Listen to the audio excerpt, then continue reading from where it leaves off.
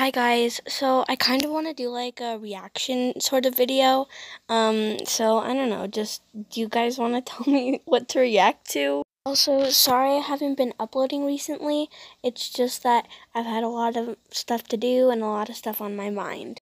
Now, I was supposed to upload a collab video a couple of days ago, but I haven't gotten around to finishing it because of everything I've had to do, and I feel really, really bad I tried messaging her, but she hasn't responded, and I don't know if she has seen it or if she's just mad at me. So I'm really hoping that works out.